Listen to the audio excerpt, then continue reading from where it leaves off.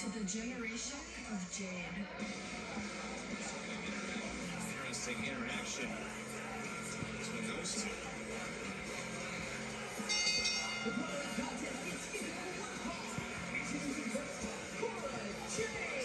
I wonder how that's going to play out for Royce here tonight with someone who has been done playing games for some time.